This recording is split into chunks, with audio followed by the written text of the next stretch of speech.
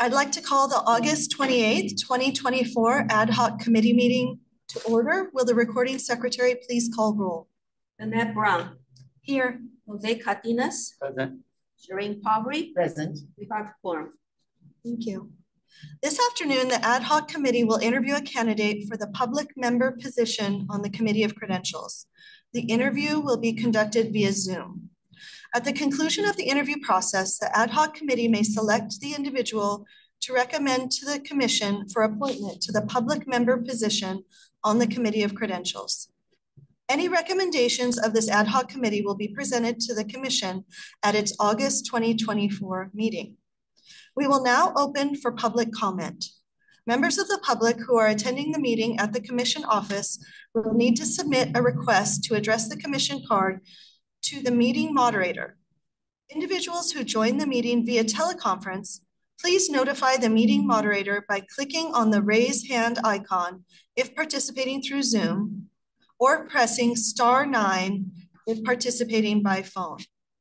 Public comment is limited to two minutes per speaker. Recording secretary, are there any public comments?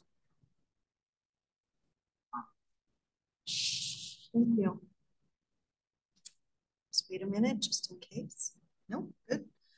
The public comment period for this item is now closed. Okay, the following interview is for the public member position on the Committee of Credentials. At the conclusion of the interview, the ad hoc committee will deliberate on the qualifications of the applicant. Our candidate for the public member position on the Committee of Credentials is Odette Christensen.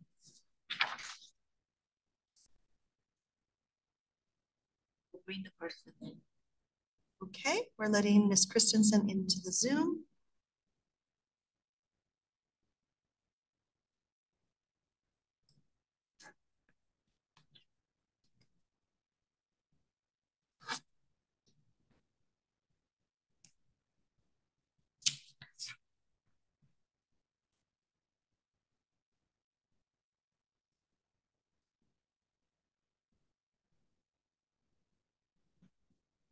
That, please accept as a panel invite and uh, rejoin us as a panel.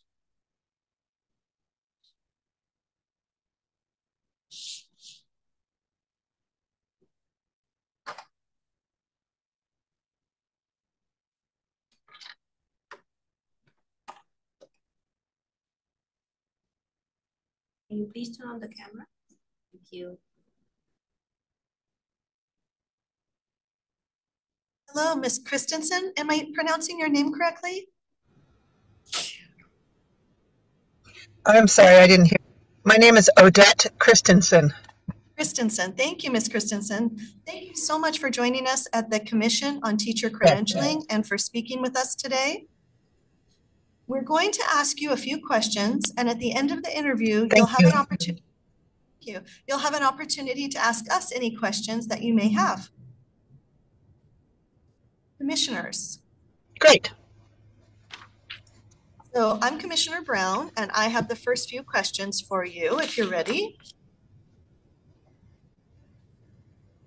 Mm-hmm. Okay, great. Are you currently employed in a certificated position in the public schools? Please note that a certificated you hear? Okay. I'll start that one again just because you blanked out a little bit on our Zoom. Are you currently employed in a certificated position I did. in the public schools? Please note that a certificated position is any position that requires a credential that is issued by the commission. Pursuant to Education Code 44002, a credential includes any credential, certificate, life document, life diploma, permit, certificate of clearance, or waiver issued by the commission. Are you currently employed in a certificated position in the public schools?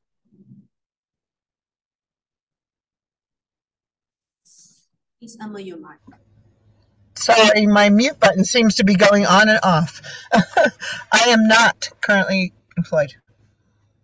Thank you so much. Next question. Are you currently a member of any governing board of a school district or county board of education? No, I am not. Thank you. Next question. The Committee of Credentials meets three full days per month and is required to prepare for the meeting by reviewing all cases for several days in advance of the meeting. The committee reviews educator misconduct cases to determine whether to recommend discipline on the educator's license.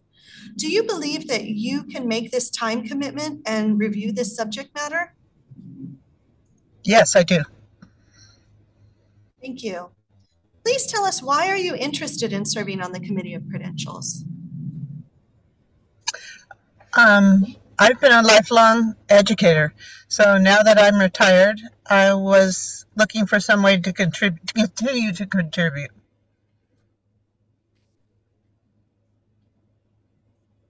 Thank you. And next question, do you know any of the current members who sit on the Committee of Credentials or the Commission on Teacher Credentialing? If so, in what capacity? I know Mary Sandy. Does that count? And would you mind just telling us the capacity that you know Dr. Sandy? Uh, I I taught her fourth grade son many many years ago. so she is. It lives in my neighborhood. Thank you so much. And the last question that I have for you before I turn it over to my colleagues is, um, oh, that was my last one. No.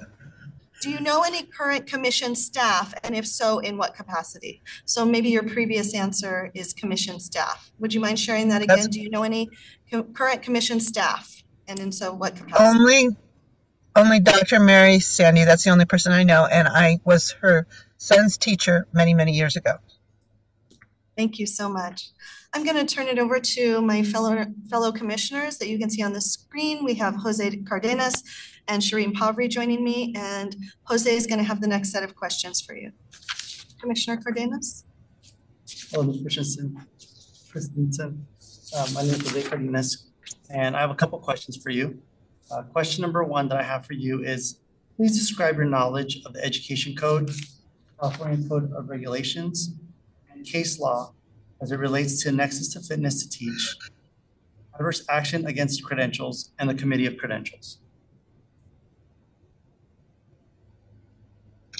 Well, I was a public school teacher for almost 30 years. And so, and also a, a association union representative and officer. So I had cause to bump up against that a little bit. And then, of course, once I became interested in this position, I've been reading all about your work and all the things that you do and, and your past meetings. So I, I feel like I have a good idea about what it is that your commission does. Thank you. My next question what strengths do you possess that would be assets to serving on the Committee of Credentials? What weaknesses may impact your service?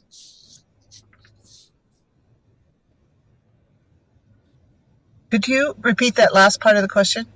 Was it weaknesses? Yes, what weaknesses may impact your service? Okay. Um, strengths, definitely um, my experience as an educator. Um, I've been a classroom teacher and a English language specialist and a reading specialist, and um, I I feel like I have a broad knowledge about public education. I am a very organized person. I've been in management positions before.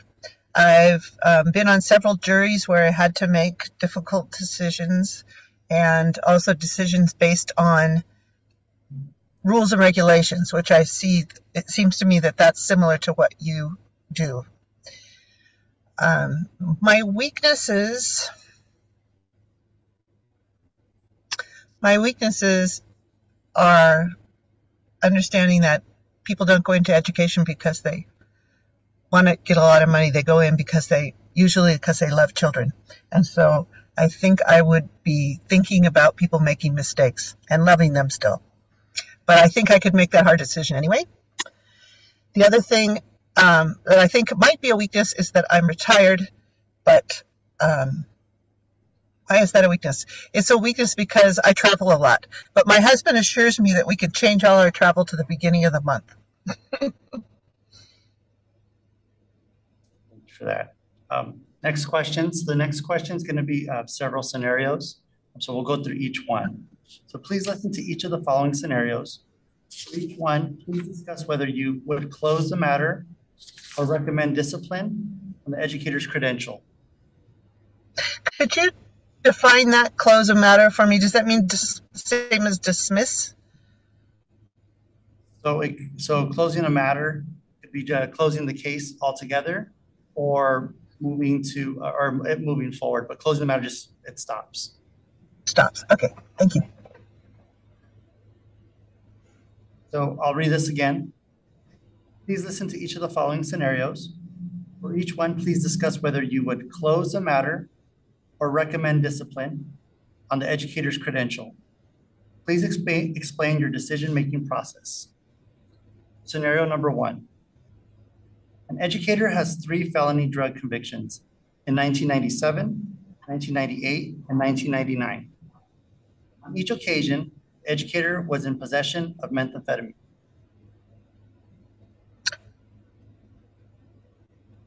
I would recommend disciplinary action because that person is a felon.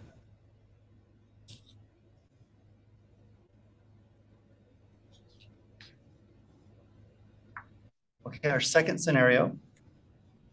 An educator learned that one of his high school students spent the night at his colleague's residence.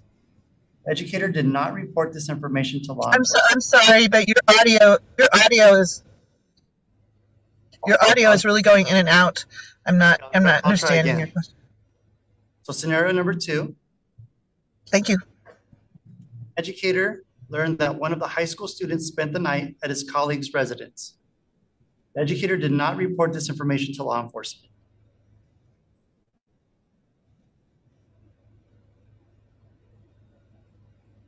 Hmm.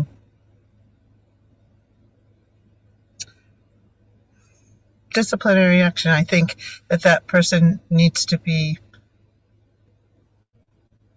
re- reprimanded in some way, told, told that they did the wrong thing.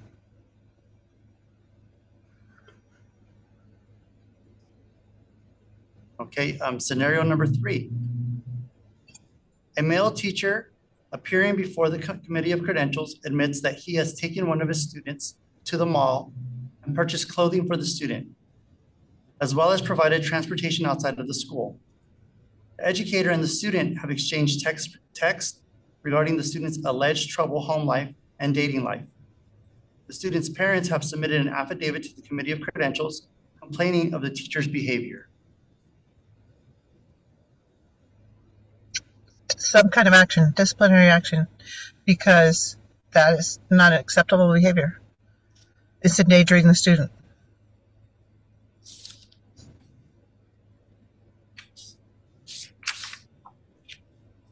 Those are all the questions that I have. I'm going to turn it over to Commissioner Pavri. Good afternoon. I am Commissioner Pavri. Um, can you, can you hear me? Yes. Wonderful. Uh, before I ask the question I had, I was wondering if I could probe a little bit about your thinking around the last scenario. Where the teacher has been, uh, the male teacher had been taking the student. And I'm happy to read the scenario again, but just That would be to get a little bit more explanation from you as to your thinking. Please, please do read it again. A male teacher appearing before the Committee on Credentials admits that he has taken one of his students to the mall and purchased clothing for the student, as well as provided transportation outside of school. The educator and student have exchanged texts regarding the student's alleged troubled home life and dating life. The student's parents have submitted an affidavit to the Committee on Credentials complaining of the teacher's behavior. The I'm concerned that the Please, go ahead. I, I'm concerned that the parents have complained about this. I'm not sure that parents are able to make that complaint does it have to come through a principal or a other or a superintendent? But I'm that's what I'm concerned about is that if the parents have complained about it, then there's there's something that needs further investigation. Thank you. Appreciate that. All right, so I'll move on to the next question.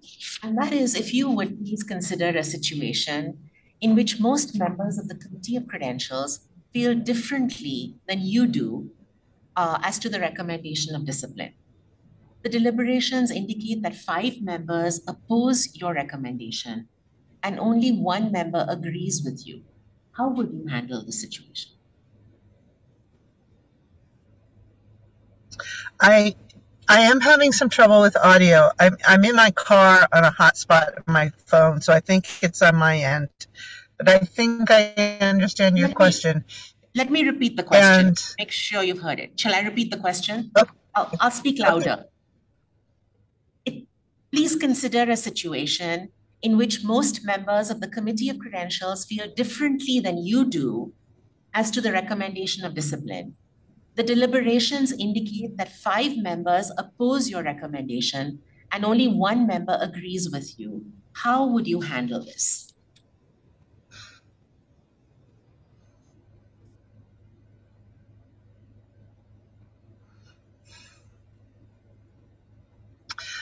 well, first of all, I would want to make sure that I had exhausted all possibilities of understanding each other. So I would would want to make sure that all members have had a chance to explain their thinking to each other. But I can understand that that that might happen and we might still agree disagree. And I don't I don't know what the rule is in your commission if it's like a jury where you have to all agree or or it doesn't go. no. My Okay. understanding is So majority then, vote, um, majority vote, it's a majority vote. Well, if I felt like I had exhausted that and I didn't didn't agree, I would still go along with the majority if that was the the way that it's run. Thank you. Um, the next question, when faced with a difficult case in the committee, which do you think should be given greater weight? The protection of the teacher or the protection of school children? School children. To that a little- Say that again. You like to speak to that a little bit? Um, children in in my career, children have always come first. That's our priority. Is that children are safe and that they are being provided everything they need as a whole whole child, social, economic, safety, physical, everything. So that that's first. Thank you. All right, and um, on to the last question we have for you.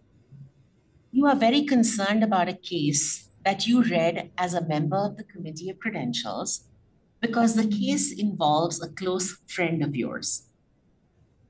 After you read the case, you feel that the facts reported to the commission by the district about your friend are false. You feel obligated to inform your friend and you feel that the committee should close the case and take no discipline on your friend's credentials. What issues should you consider before proceeding?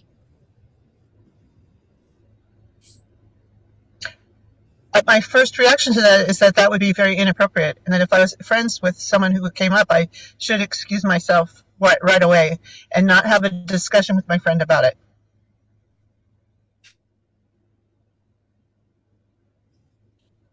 Great, thank you so much.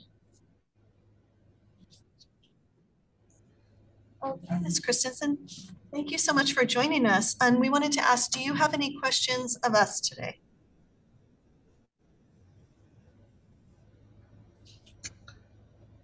Um, no, I don't, and my internet seems to be getting more and more unstable. so I think I should leave. okay, well, thank you so much, Ms. Christensen. Uh, we will now disconnect this call and deliberate. Okay. Thank you. Thank you.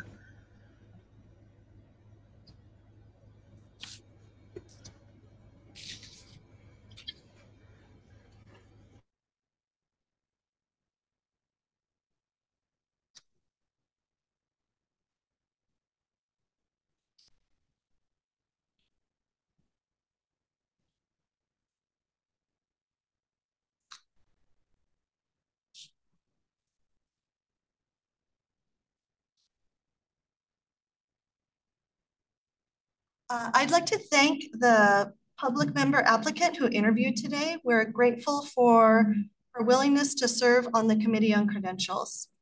We have heard from public member applicant Odette Christensen. We're here to recommend appointment of a public member applicant to serve on the Committee of Credentials. Let's discuss our thoughts on the strengths and weaknesses of the applicant.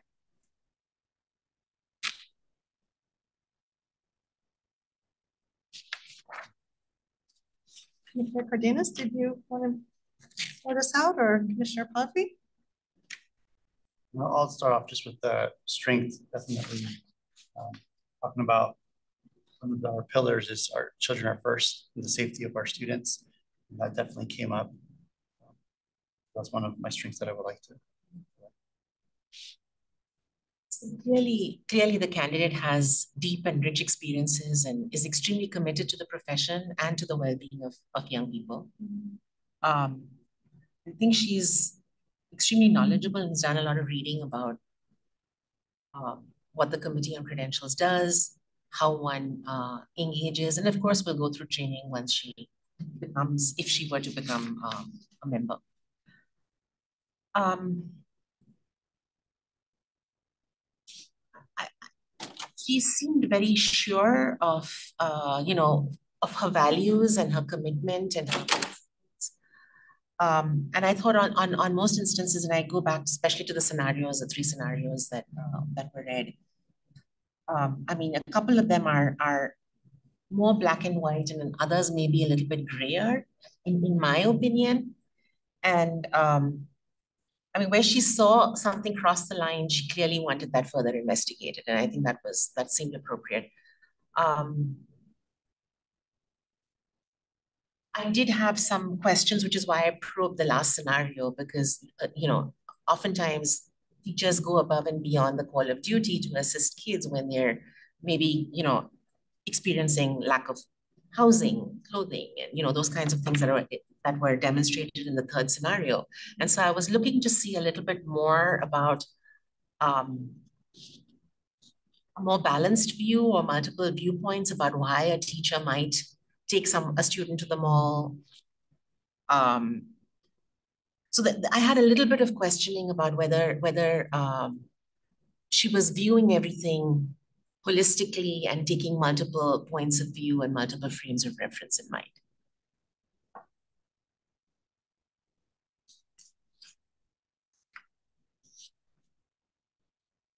Um, if I could add also, um, I agree with the strengths that have been previously mentioned.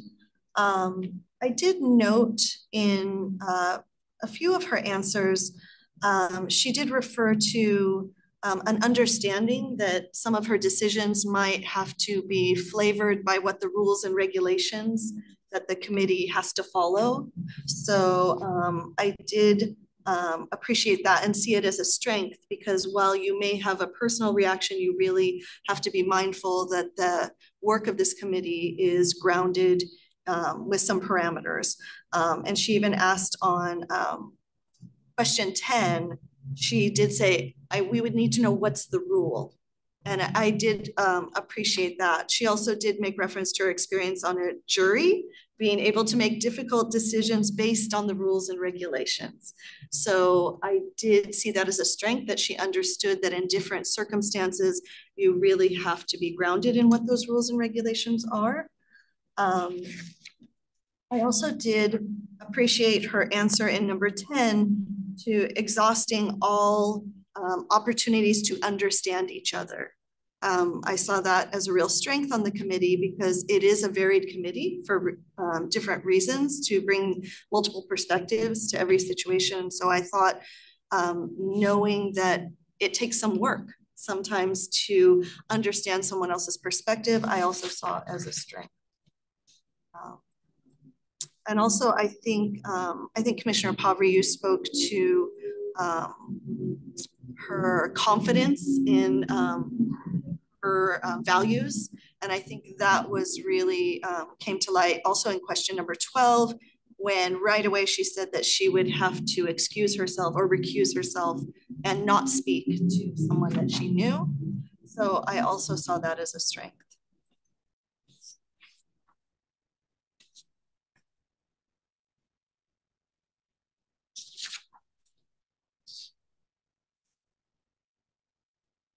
The only concern that I had was question seven. Mhm. Um, I like that she had a background as a union rep, so I mean, she was definitely involved in. So I think all of us always have something to learn, right, about ed code, um, California Code of Regulations, um, and even case law. So I think it is something that, as you go through this process, um, you learn even more. Um, so I was looking forward to the sense that she had some background with representation.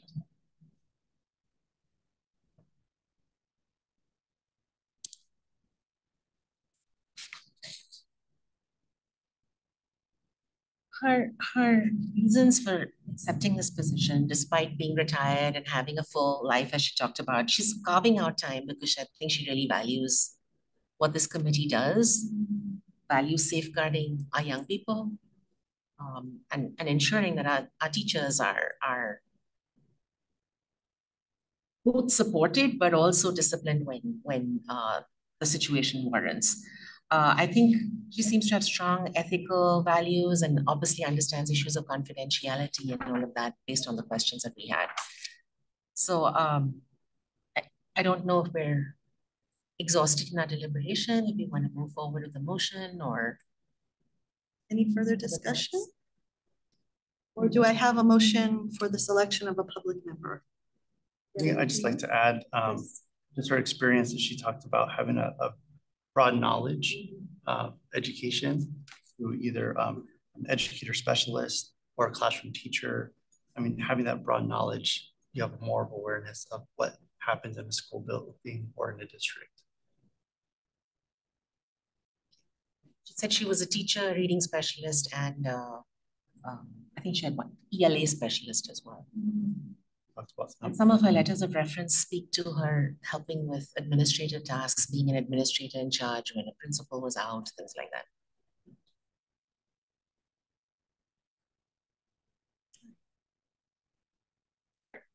Any further deliberation? Are we? That's all I have. So do I have a motion for the selection of a public member? So moved. I have a motion by Commissioner Pavri. Do I have a second? I second. Okay, I have a second by Commissioner Cardenas. Will the recording secretary call for the vote? Annette Brown, Aye. Jose Cardenas, Aye. Shireen Pavri, Aye. motion carries. Thank you so much to Commissioner Pavri and Commissioner Cardenas.